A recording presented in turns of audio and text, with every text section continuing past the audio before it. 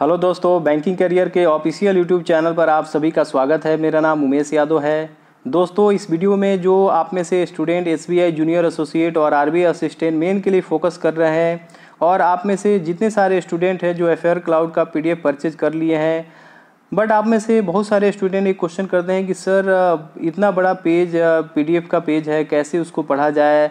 एक मंथ का कंप्लीट करने में काफ़ी टाइम लग जाता है। दोस्तों, इस सबको ध्यान में रखते हुए और मेरे रिक्वेस्ट पर एफेयर क्लाउड के टीम ने आप सभी के लिए एक अच्छा चीज़ इंट्रोड्यूस किया है, एक पॉकेट पीडीएफ इंट्रोड्यूस किया है, जिससे आपको काफ़ी बेनिफिट मिलेगा और आप आसानी से 35 प्लस स्कोर कर सकते हैं अपने एग्ज़ाम में करंट अफेयर और बैंकिंग अवेयरनेस स्टैटिक पार्ट में। इसको हम देखेंगे कि आपको कैसे पढ़ना है, इसमें आपको लाइव दिखाऊँगा, आपको काफ़ी यहाँ से बेनिफिट मिलेगा। दोस्तों, आप में से जो भी स्टूडेंट परचेज कर लिए, उनके लिए काफ़ी अच्छा है। और दोस्तों, आप में से जो भी स्टूडेंट नहीं परचेज किए हैं, आप चाहते हो कि आपको अच्छा स्कोर हो अफेयर करेंट अफेयर में तो आप जा करके अफेयर क्लाउड का पीडीएफ परचेज कर सकते हो। वनली टू सेवेंटी रुपीज़ में आपको मिलेगा वन ईयर सब्सक्रिप्शन चार्जेस इस प्लेटफॉर्म से लोगे तो आपको टेन परसेंट डिस्काउंट होता है, जिस, जो आपको टू सेवेंटी रुपीज़ में मिलता है। अब देखते हैं दोस्तों आपको कैसे पढ़ना है। हम लोग चलते हैं। आपको जो मेल आया होगा उस पर चलते हैं दोस्तों। ओके okay, दोस्तों आपने परचेज कर लिया होगा तो आपको इस टाइप का आपको उनके तरफ़ से मेल आ गया होगा। आप यहाँ पर देख सकते हो आपको current affair two thousand twenty PDF अब आपको स्क्रॉल करके नीचे आना है। आपको मैं सब दिखा, दिखाता हूँ कैसे पढ़ना है आपको।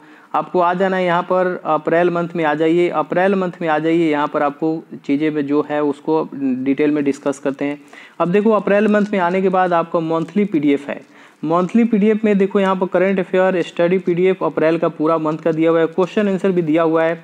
अब यहाँ पर एक इंपॉर्टेंट उन्होंने सेक्शन इंट्रोड्यूस किया है। थ्री नंबर जो है, देखो पॉकेट पीडीएफ और इसमें बैंकिंग फिनांस एंड इकोनॉमिक का पीडीएफ है। और उसके बाद top current affair top hundred question answer जो है उसका। अब दोस्तों, इसमें आप लोग जो भी स्टूडेंट परचेज कर लिए आप लोग पूछते रहते हैं कि, सर, इतना बड़ा पीडीएफ है, इसको कैसे पढ़ा जाए? तो देखिए, इसमें उन्होंने पीडीएफ जो पॉकेट पीडीएफ है, उसको इंट्रोड्यूस किया है। आपको सबसे पहले क्या करना है पॉकेट पीडीएफ पर क्लिक करना है और पॉकेट पीडीएफ जैसे ओपन होता है, उसमें देखो, आपको हम आगे बताते हैं।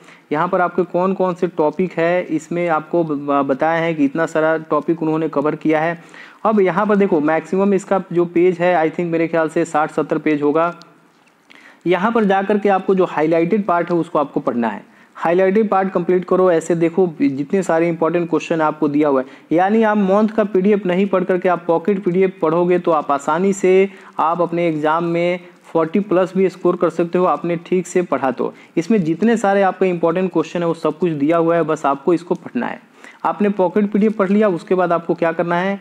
आपको फिर उसके बाद बैंकिंग में पढ़ना है। बैंकिंग फिनांस एंड इकोनॉमी का पीडीएफ आपको क्लिक करना है। इसमें जितने सारे बैंकिंग के जो ये हैं इंपॉर्टेंट क्वेश्चन है अब तक का, वो सब आपको इसमें देखने को मिलेगा। थोड़ा टाइम लगेगा इसको ओपन होने में।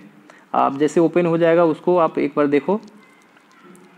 देखो, यहाँ पर ओपन हो गया। अब इसमें आपको जाना है, जो बैंकिंग का जो इंपॉर्टेंट जो क्वेश्चन है, इसमें दिया हुआ है। अब आपको पढ़ना है, सब चीज़ इसमें है। तो दोस्तों बैंकिंग फिनांस से जितने सारे इंपॉर्टेंट क्वेश्चन है यहाँ पर दिया हुआ है। तो आपको ये पढ़ना है उसके बाद क्या करना है आपको आ, उसके बाद फिर क्या करना है क्वेश्चन आंसर का सेट लगाना है। आप इतना कीजिए आप आराम से 40 प्लस स्कोर कर सकते हैं, आराम से कर सकते हैं। 35 तो इजीली आप आराम कर ही सकते हैं। तो मुझे ये बताना था इसमें कि आप में से जितने सारे स्टूडेंट जो पूछते रहते हैं कि, सर, इतना लंबा पीडीएफ कैसे पढ़ा जाए? तो आपके लिए एक सॉल्यूशन है। मैं आपको बताता हूँ कि आप फेयर क्लाउड का पीडीएफ परचेज करो। तो मैं आपको ये भी बताना चाहिए मुझे कि आपको कैसे पढ़ना चाहिए। क्योंकि जो भी आप में से जो सीरियस स्टूडेंट हैं, मेरे से जुड़े हुए हैं, आप सबको मैं चाहता हूँ कि अच्छा से गाइड करूँ, आप अच्छे से स्कोर कर पाए अपने एग्ज़ाम में। और आपका सिलेक्शन 2020 के एसपीआई जूनियर एसोसिएट में आपका हो जाए। ओके दोस्तों आई होप आपको क्लियरिटी मिला होगा। आपको कोई भी डाउट है तो आप नीचे कमेंट कर सकते हैं। आपका, वहाँ पर आपको मैं कमेंट में आपको आंसर दूँगा। और पर्सनली कुछ पूछना चाहते हैं तो बैंकिंग कैरियर का ऑफिशियल ईमेल आईडी है, वहाँ पर आप मेल कर सकते हैं। ओके दोस्तों thank you so much God bless you